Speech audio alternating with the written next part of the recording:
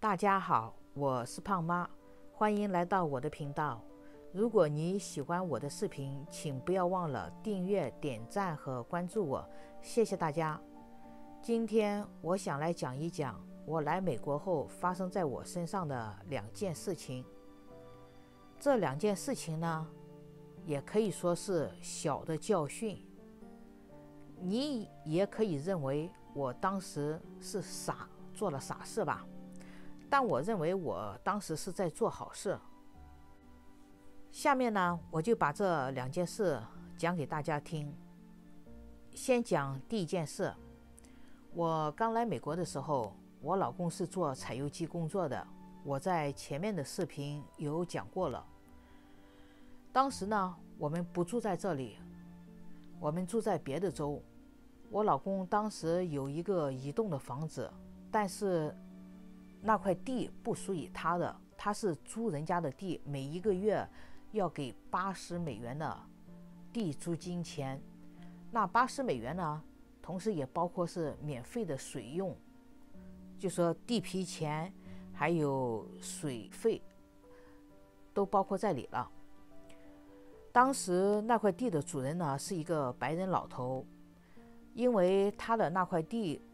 非常靠近做采油机的那个厂子，他就买了一些移动的房子，放在他的地上，做起了房子的出租生意。同时，他把他家的大房子也给出租了，他们搬出去住了。当时租他家大房子的人呢，是一对白人夫妻，男的是在政府部门上班的，女的在家里面不做工。当时我们所住的位置呢，离这一对白人夫妻呢是对面，中间呢有一条小的马路。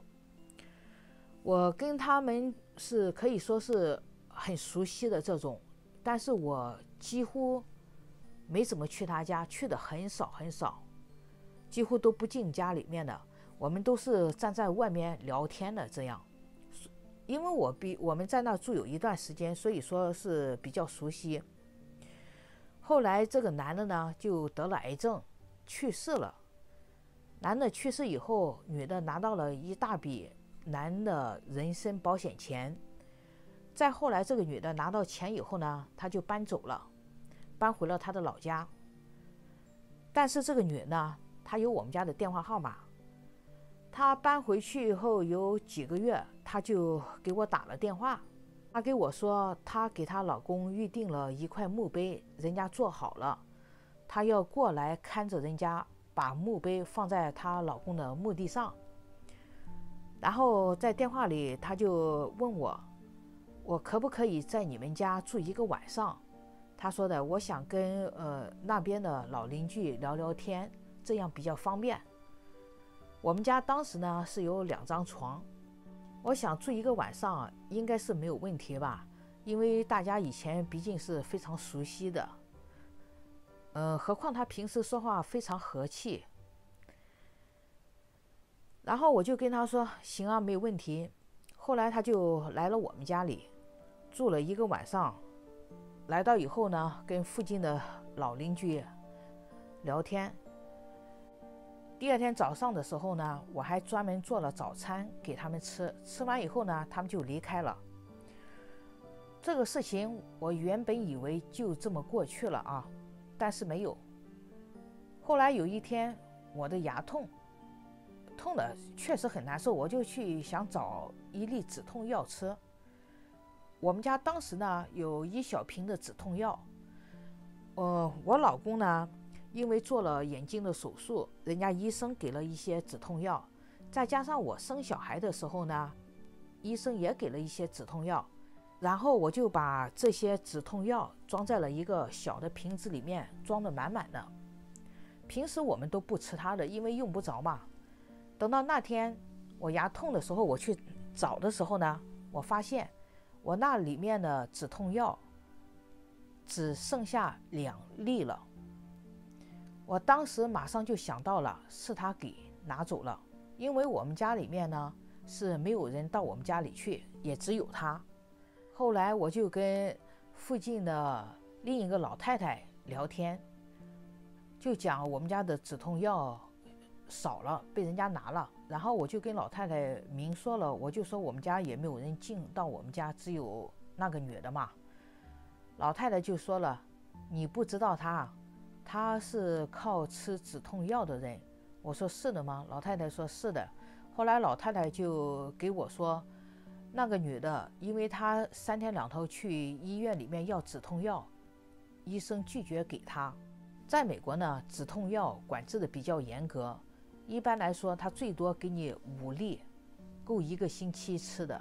因为他经常去问医生要止痛药，医生就不再给他提供止痛药了，他就跑到附近的小镇上去要止痛药。他甚至还花钱从人家手里买止痛药。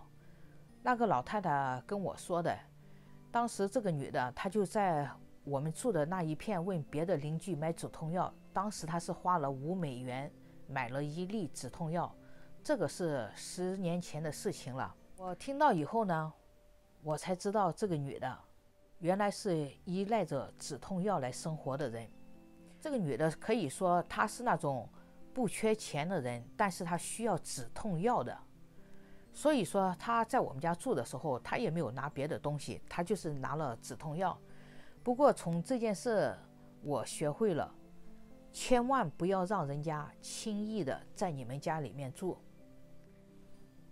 这是我来美国以后学到的第一件事情。下面我就给大家讲一讲第二件事情。我老公换了工作以后呢，我们就去了北方。当时我们所住的旅馆的对门住的是一对母女，白人母女，女孩子有十六岁了，个子还挺高的。当时，呃，女孩子的后爸，也就是她妈妈的老公，是住在楼上的。男的呢，跟我老公是在一个工程上做工的。那个男的是开挖土机的。他跟我老公熟悉，但是呢，他们不在一个施工队做工。有一天，女孩子敲我的房间门，我给她开门以后呢，她就跟我说她饿，他们家没有什么吃的了。我当时。正好是煮好了饭，我就给他装了一盘的食物。在美国，我们吃饭不用碗，我们都用盘子装的。他一边吃食物，他一边跟我聊天。他就跟我说，他的继父啊，一个星期只给他们七十美元的生活费。在十年前，七十美元。管两个成年人吃饭，一个星期的生活费确实是不够的。因为他们也不做饭嘛，都是在外面买着吃。我当时呢也没有说什么。女孩子吃完以后就问我可不可以给她妈妈也装一盘子的食物。我说没有问题，我又给她妈妈装了一盘子的食物，她就拿给了她妈妈吃。后来女孩子每一天的中午，她都到我的房间里面来找饭吃。在我的房间里面吃了有十天还是十一天。女孩子跟我说，她小的时候因为她父母犯罪，被判了刑进了监狱，她就被送到了孤儿院。后来她的母亲从监狱出来以后，就把小女孩从孤儿院带走了。女孩子的父亲呢，出了监狱以后和她母亲两人就离婚了。她母亲后来又找的这个男的。